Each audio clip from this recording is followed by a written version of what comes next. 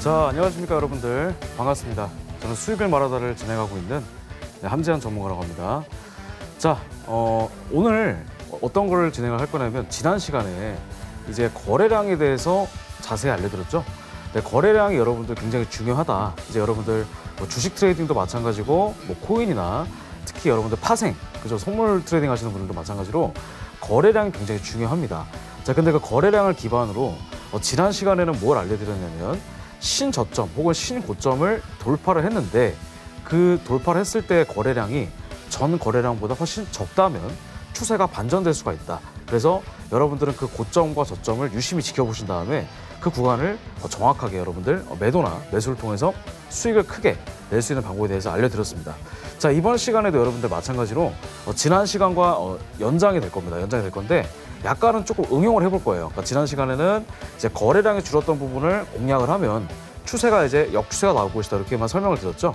이번 시간에는 이제 정확한 타점, 정확하게 거래량이 줄어들었던 부분을 어떻게 추세가 반전이 돼서 저희가 그 저점을 최저점을 공략할 수가 있는지 그 자세한 방법에 대해서 같이 한번 네, 알아보도록 하겠습니다. 자 여러분들, 자 어, 지금 설명이 꽤 장황했는데 계속 제가 예를 들, 예를 좀 들어드리도록 하겠습니다. 자 여기도 마찬가지예요.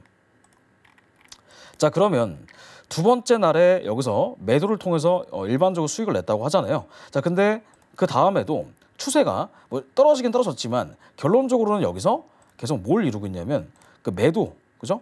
여기 저항선을 꾸준히 한 세 번 정도 이렇게 만들었습니다. 여기도 만들고 그죠? 그 다음에 여기도 만들었어요. 그 다음에 자 여기도 또 만들었습니다. 한 세 번 정도 저항선을 만들었다고 생각하시면 돼요. 자, 그러면 세 번 정도 저항선을 만들고 그 다음에 다시 한번 뭐가 나왔다? 상승으로 돌파가 나왔어요. 돌파가 나왔습니다. 자, 근데 돌파가 나왔는데 이제까지 배웠던 거는 거래량이 훨씬 더 많이 나왔는데, 그죠? 자, 여기 전일 거래량보다 많이 나왔어요. 그러면 당연히 그 계단식으로 올라가야 되는 거 아니냐 이렇게 생각할 수가 있습니다. 그래서 여기서 매수 들어갔더니 어떻게 돼요? 어제 밀려버렸죠.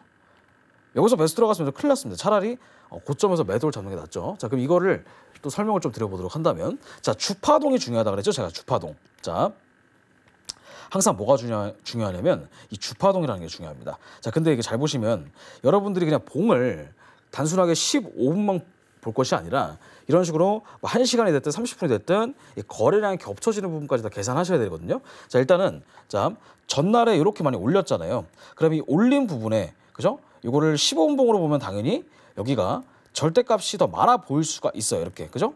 이렇게 딱 뚫었으니까 전일 거래량보다 더 많이 나와서 올라가는 거 아니냐 생각할 수가 있는데 가장 중요한 거는 이렇게 이 전일의 주파동보다 이미 저점이 높아질 때 거래량이 여기 나와 있던 거래량 있죠? 여기보다 이 두 번째 즉 산을 만들 때 거래량 즉 들어 올릴 때 저점이 높아지는 부분이 있죠? 저점이 이렇게 높아집니다. 이 저점이 높아지는 부분의 거래량이 점점 점점 더 늘어났어야 돼요. 그 다음에 거래량이 더 뚫어야 찐 상승이라고 볼 수가 있습니다. 근데 요거는 그냥 요봉 하나 딱 솟아 올라간 것 뿐이에요. 그럼 요거를 한 시간 봉을 한번 체크해 보겠습니다. 한 시간 봉을 체크하면 어, 금방 답이 나오게 되는데 자 지금 여기거든요. 자 그러면 제가 지금 여기 주파동 있죠? 여기 주파동의 거래량이 전반적으로 봤을 때는 좀 많아요. 그죠? 굉장히 큽니다. 거래량. 자, 근데 두 번째 들어 올렸던 거래량 있죠? 두 번째 거래량이 한 시간 봉지로 봤을 때는 이렇게 확연하게 지금 뭐가 나왔다?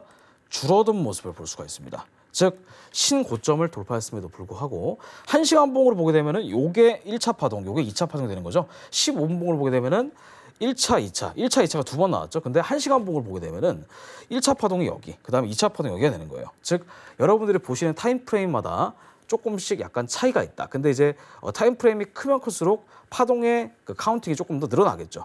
자, 그래서 한 시간 봉으로 봤을 때는 이렇게 솟아 올랐음에도 불구하고 그 전전날에 주파동의 거래량보다 적기 때문에 이런 식으로 거짓 돌파 이후에 추세가 이렇게 급락이 나오게 되는 겁니다.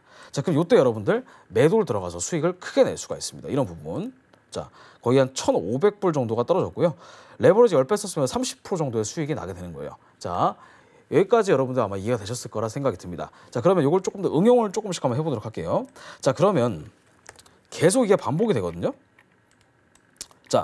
자, 아까 제가 방금 여기 보여드렸죠? 그러면 여기 마찬가지입니다. 전날의 저점을 이렇게 돌파를 했죠. 지금 전날의 저점을 제가 체크를 해본다고 한다면 여기가 검정색 라인이에요. 여기가 전날 저점이 됩니다. 자 그러면 이 전날 저점을 뚫어냈을 때, 그죠? 전날 저점을 이렇게 뚫어냈을 때, 그때 여러분들 이 매도의 주파동 이렇게 저점을 만들었을 때, 그죠? 저점 만들었을 때 어, 매도의 주파동이 지금 보시게 되면은 자 이렇게 떨어지는데 이거 잘 보세요. 이런 식으로 음봉이 그죠? 음봉이 만들어져요. 음봉이 만들어진다 계속 그죠? 그러면 뭐가 나온다는 얘기예요? 계속 매도세가 지속이 된다는 얘기죠. 자 근데 이걸 좀 확대해서 보자면 그죠? 확대해서 보자면 이렇게 매도 거래량이 점점 뭐 하고 있어요? 매도 거래량이 점점 이렇게 증가하고 있는 거 보이시죠? 여기까지가 이상적인 하락 추세가 되는 거예요. 자 근데 갑자기 갑자기 매도 거래량이 확 줄었습니다. 여기까지는 뭐 그냥 그러려니 해요. 근데 다시 한번 신저점을 이렇게 찍었죠. 신저점을. 자, 신저점을 찍었어요. 그러니까 전일 음봉보다 더 작다는 얘기죠. 자, 근데 매도 거래량이 어떻게 됐냐면 더 이렇게 쭉 감소했습니다. 매도 거래량이. 그러니까 이게 연결된 걸로 보셔야 되는데 이게 신저점을 찍었는데도 불구하고 거래량이 조금 적게 나왔다. 요건 여러분들 어, 뭐냐면 점점점 뭐가 어, 생긴다? 하락세에 대한 그런 힘이 점점점 잃어간다. 보시면 돼요. 그러니까 떨어지긴 떨어져요. 절대값 기준으로 떨어지긴 하는데 하락세가 점점 더 줄어들기 때문에 추세가 언제라도 바뀌는 거는 여러분들 이상하지 않은 일이에요. 자 그러면 요거를 체크해 놓고 그 다음에 아까 제가 뭐라 설명드렸죠? 요거를 자, 이 15분 봉이 추세가 뚫었다라고 한다면 요게 단기 반등이 나올 수가 있기 때문에 요거를 이제 15분이나 5분 기준으로 체크를 하시면 됩니다. 자, 아까 체크했던 부분 여기에요. 자, 그러면 자, 전일 저점을 뚫었음에도 불구하고 이렇게 떨어지면서 점점 뭐가 줄어든 거예요? 매도 거래량이 줄어든 거예요. 자, 5분봉으로 보니까 조금 더 확연하게 잘 보이시죠? 이렇게 자, 거래량이 확 줄었다. 그 다음에 여러분들 어, 이렇게 매수 거래량이 뭐 하고 있어요? 이 줄어든 부분을 이렇게 들어 올렸죠, 그죠? 자, 들어 올리면서 이렇게 아래 꼬리를 딱 달고 종가를 끊었단 말이에요. 자, 그러면 이 아래 꼬리를 달고 종가가 끝나면서 양봉이 어, 나왔기 때문에 이 자리가 뭐가 될 수가 있다? 최저점이 될 수가 있는 겁니다.